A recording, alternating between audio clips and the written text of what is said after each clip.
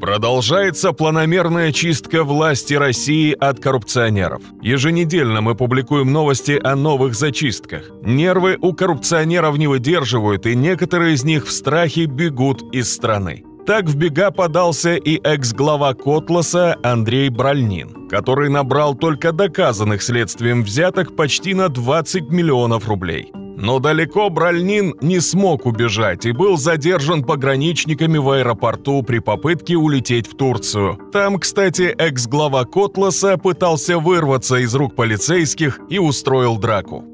Другой фигурант уголовного дела смог гораздо дольше скрываться от федерального розыска, но в конечном итоге все-таки попал в руки правосудия. Речь идет о сыне бывшего руководителя Забайкальской железной дороги Денисе Фомине. Он обвиняется в шести эпизодах мошеннических действий. Началось все с того, что его отец Валерий Фомин устроил своего сына заместителем руководителя Забайкальской железной дороги в 2013 году. Однако Денис лишь формально занимал эту должность. На службе он не появлялся и рабочие обязанности не исполнял. Так, в течение трех лет он получал зарплату, общая сумма которой составила 5,5 миллионов рублей. Кроме того, за счет компании он ездил в командировки в Екатеринбург и Монголию. На деле Фомин младший занимался решением личных вопросов. Бывшего руководителя Забайкальской железной дороги и по совместительству отца семейства суд уже приговорил к шести годам колонии.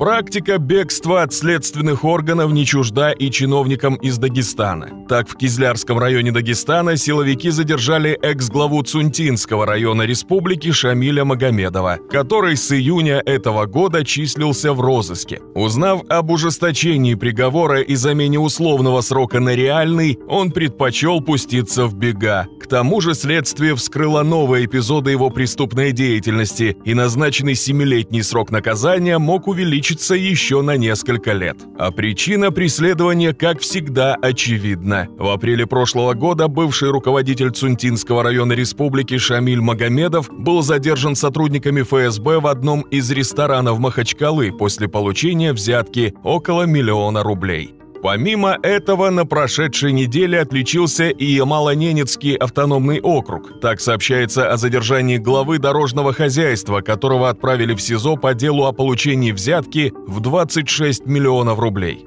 По информации органов, в Тюмени Ленинский районный суд заключил под стражу экс-директора ГКУ «Дирекция дорожного хозяйства ЯНАО» Игоря Баркуна. Его подозревают в получении более 26 миллионов рублей за откаты по госконтрактам. Неужели многие преступные лица в органах власти считают, что после своей предпринимательской деятельности на службе им удастся сбежать, спрятаться или попросту улететь за границу? А может это и есть действенный способ, о котором им известно не понаслышке. А нам остается лишь только гадать, скольким же коррупционерам во власти удается уйти от правосудия, а возможно даже при содействии своих же коллег.